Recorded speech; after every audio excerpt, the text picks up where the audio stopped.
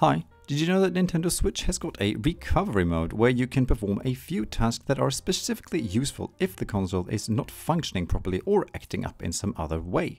The recovery mode can also be used to factory restore your Nintendo Switch should you for example be locked out of it due to a software bug or something similar or as a means to try and fix a switch that's not booting at all.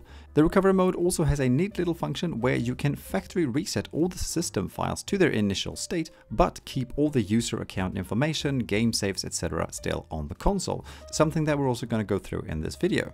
To access the recovery mode, you first have to turn your switch off if it isn't turned off already. To turn the switch off, just press and hold the power button and then select power options followed by power off. Now with the console off, press and hold both the volume up and the volume down buttons. Keep holding them and then push the power button once. When you see the recovery mode menu, you can then let go of the volume buttons.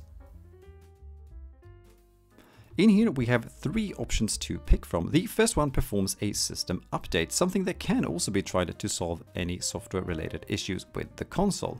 The second one let us factory restore all the system files while still keeping our user data intact on the console.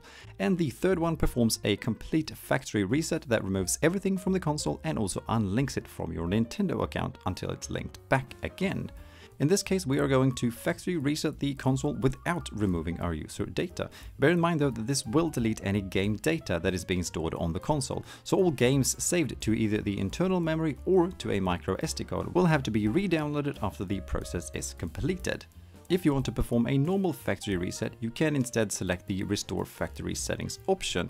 Here, please refer to this video that is basically the same thing, but with the factory reset process started from within the normal console system menus instead.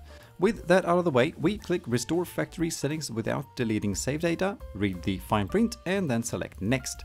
To start the factory reset process, we then push the big red button. The actual reset doesn't take that long in this case, and after the console has restarted, we then have to go through the normal setup process and give it access to network information, etc.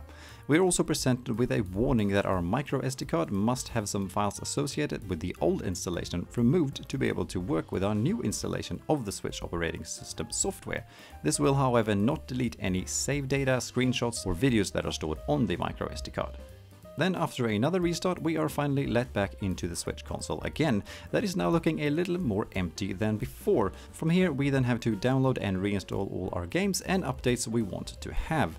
But as we can see up the top, our user accounts are still there, along with game saves, game videos, etc. And that is about that for this video. Thank you for watching and please share any thoughts or questions in the comments below and I'll do my best to answer them. Have a nice day, bye!